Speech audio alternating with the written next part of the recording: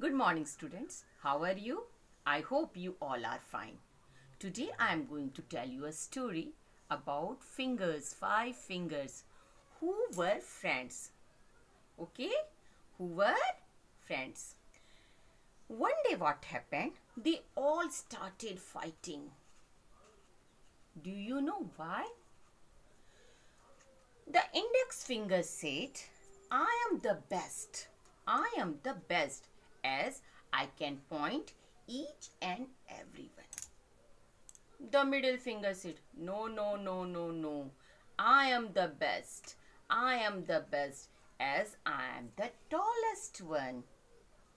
The ring finger said, No, no, no, no, no. I am the best.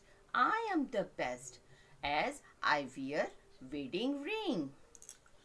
The little finger said, No, no, no, no, no. I am the best. I am the best. As when we join our hand for prayers, I comes first. So I am the best. All the four were fighting with each other. The thumb said, Stop, stop fighting, stop. Can you free yourself without me? Can you open anything without me? Alone we can do nothing. Together we can do everything. So, never fight. We all are one. United we stand, divided we fall. Thank you, bachcho. Are you able to understand this, the message which I want to convey you through this story?